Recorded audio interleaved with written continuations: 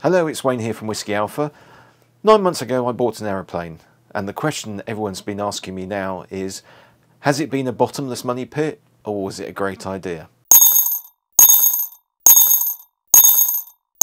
Back in late 2021, I passed my PPL and then I started flying school aircraft. Now, the big problem about flying school aircraft is lack of availability. It's reasonably easy to get a two hour slot, but if you want to go a little bit further and book the aircraft out for a little bit longer, say two, four, six hours, then there's a bit of an issue because, quite rightly so, the school are there to teach people to fly. And if you're taking an aircraft out for six hours because you want to go to Sandown, then they can't teach someone so there was always an issue booking aircraft. I decided to start doing my complex rating because the school had a PA-28 Arrow, which was a complex aircraft. The key thing here was the Arrow wasn't being used for general training, so the availability was better. And I did about 9-10 hours. I was just about to finish my rating on there. I had probably about an hour to go.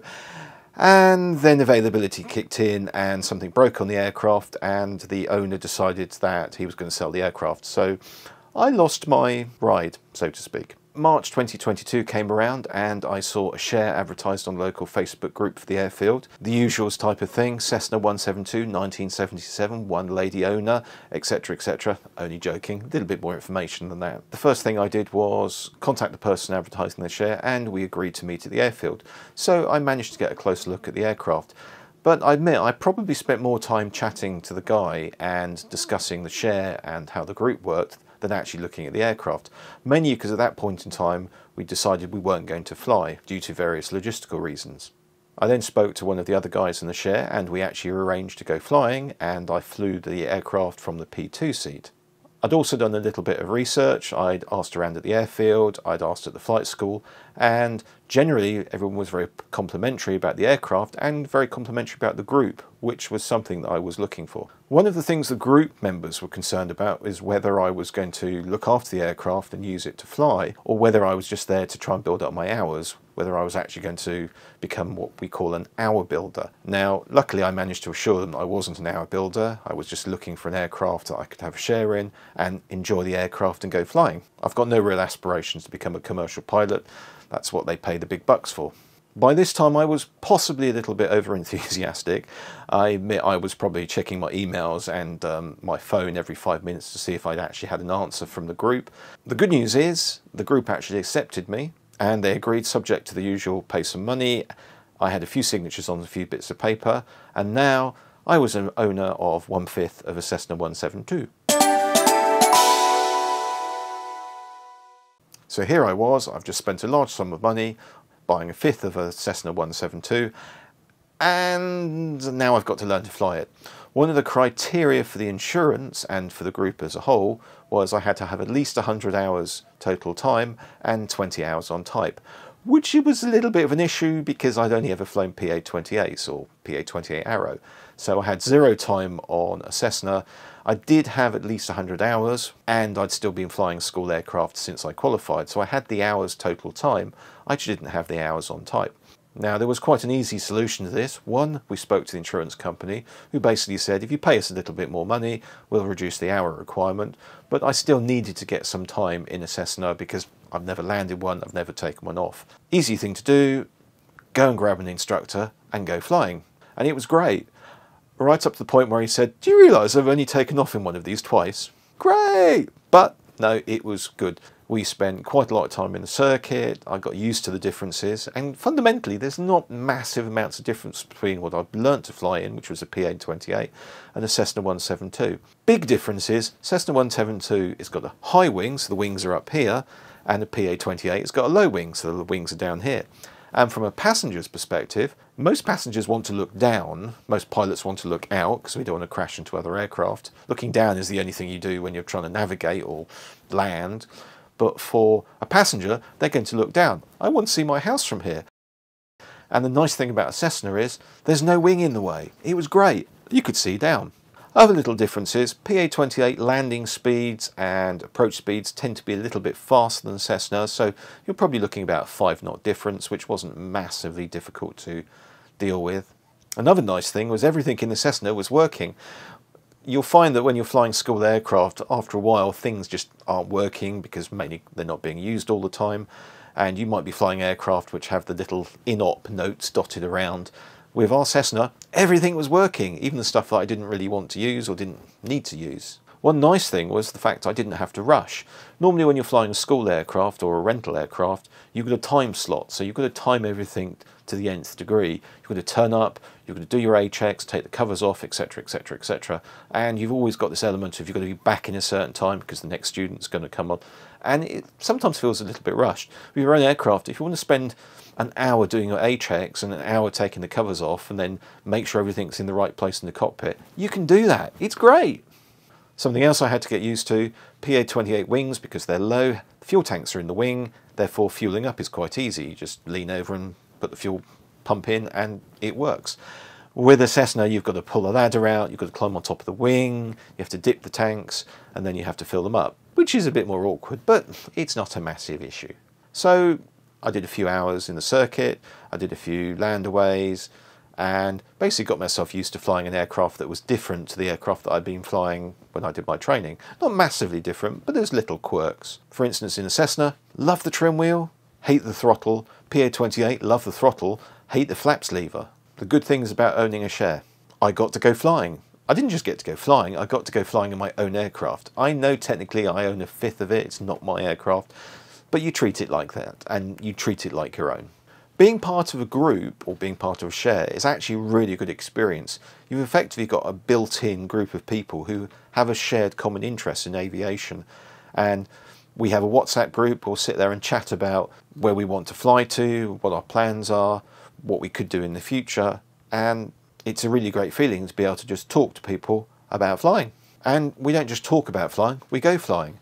I've flown with David, we tried to do an abortive trip to Touquet, we've done Sandown, we've done a few other trips, but it's almost as if you've got a built-in group of people that you can go flying with and we know the aircraft and we tend to share the aircraft as well whilst we're flying. So one person will be flying one way, one person flying back, or we might share the, the load, so one person will fly, one person does the radios. And it's a great thing to do. It's not just a solitary, you're stuck in the aircraft on your own, having to do everything. Fly with other people. It's fun. Another great thing about owning an aircraft as a share is all the costs are shared. So if something breaks or we have an annual, I'm not looking at a big bill, I'm looking at a fifth of a big bill, which is still a big bill, but you get the idea. Availability in our group is pretty good. We have a WhatsApp group and we have a shared calendar.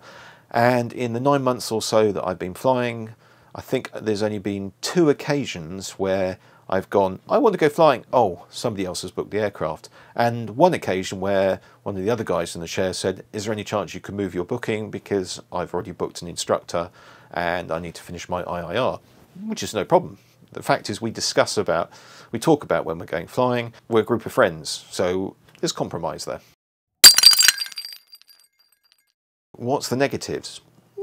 There's a few of them, but not massive ones. Availability, possibly an issue because sometimes you're going to get to the point where you want to book it out and other people have already booked it, or you want to book it for a longer period of time, and then you have to negotiate with the other people in the group. So if I want to take it for two weeks to go into France, for instance, then I have to talk to other people in the group and we all have to agree that they're happy with that. It works out quite well for me because I do a lot of flying during the week and not much at weekends, where some of the other people in the group will do flying at weekends and not much during the week. So there's a balancing.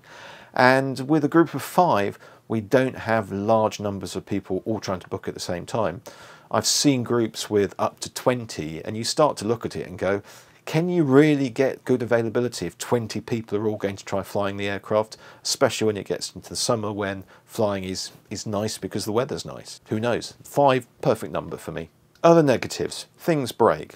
Now, I call it a negative, but I've flown school aircraft where things have broken on school aircraft. The difference is with the school aircraft, the school have to deal with it and it's up to them to find me another aircraft if our aircraft breaks, then we have to deal with it. And it's a case of somebody then has to get it to our engineers, and the engineers have to deal with it, and we pay the money, etc., etc.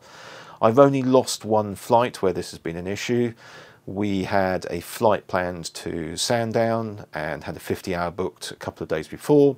Thought it was going to be simple. We flew in to do the 50 hours and they found a few things wrong with it, which meant it wasn't going to be ready when we needed it, so we lost the flight. But that's life. Another slight negative is the fact that you can't do what you like all the time. Now, we're a group of five, and a couple of times we've had discussions within the group about things we'd like to do. A couple of us wanted to put some extras, shall we say, and there was a discussion, and it was decided we weren't going to put them.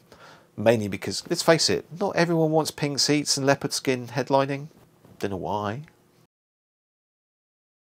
So, the question that everyone really wants me to answer is Has it been a good idea? And my simple answer is for me personally, yes, it's been fantastic. It's the best decision I made since I decided to start to learn to fly. If you get an opportunity to get a share, get a share in an aircraft. It works out to be cheaper than hiring and renting aircraft from a school. You get more flexibility. You get to fly with a group of friends, potentially. I mean, if you've got a share of two people and the other person's never around, then it's a bit more difficult. It gives you a lot more flying and it gives you more of a shared experience in flying. What advice would I give you if you're thinking of buying a share? Well, I'm actually going to do another video about this. The main things I would advise you is firstly do your research make sure that the aircraft you're looking at is going to be right aircraft for you.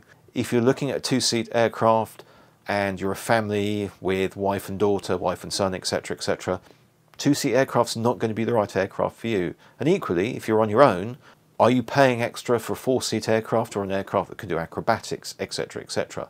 Make sure the aircraft is the right aircraft for you. Secondly, talk to other members of the group because the group is almost as important as the aircraft, if not more. The aircraft is a mechanical device, providing it's being looked after and it's regularly maintained, it will fly. The group you can have some seriously bad group dynamics where you can have someone in a group who all they do is complain and it just gets really stressful. Equally, don't forget a group and a shared aircraft. It's an investment. It's not just something that's going to last for five minutes. You're going to pay a chunk of money into there, and in order to get out of that group, you've then got to find someone to sell the share to, unless you're just going to throw the money away, which is not a great idea. But it's an investment. Consider, like all investments, the value of your investment can go down as well as up but think about what you're doing. Is this right for you? Does the group seem the right place for you? Talk to the other members of the group, see how often they fly, ask about availability, look at maintenance, ask them about maintenance, who's responsible for it, how many items in the aircraft have just been passed over and that, oh, we'll do that to the next annual. Things like that will soon show issues. Who keeps the records? Ask to see the accounts. Big question is going to be something like, is there an engine fund? Now, aircraft don't last forever. There are going to be big bills popping up from time to time engine overhauls, for instance. Now, we don't have an engine fund for the very simple reason that we all looked at this and looked at the costings on a monthly and a yearly basis and agreed that we could all afford the cash call that would be required if we had to replace the engine. And these days, engine 30, 40,000 UK pounds, that's not unusual. But split that against five, all of us could afford or had at least some of that sorted away. So if it did come an issue, we were there, we could actually pay for that rather than having an engine fund that built up over time, which would basically mean that our monthly flying would be more expensive. We've had a couple of changes in costings. When I first joined, the hourly rate and the monthly fees were slightly lower. Unfortunately, good old fuel surcharges kept going up and up and up. The airfield have increased their charges, so we re-evaluated the costings, and it all comes down to this is how much it actually costs, and we have to pay the bills. So the charges went up, but it's still cheaper than flying a rental aircraft. That's it. Basically, did I make the right decision? Yeah, I think so. It didn't turn out to be a bottomless money pit. It was a good investment. It means I can go flying. I'm enjoying it more and it's been great. Hopefully this video has helped you. Don't forget, if you like what I'm doing, please consider the old subscribe thing that appears down here and the old thumbs up. If you've got any questions, please leave them in the comments and I'll do my best to answer them. But whatever you do, please have fun and fly safe. Bye.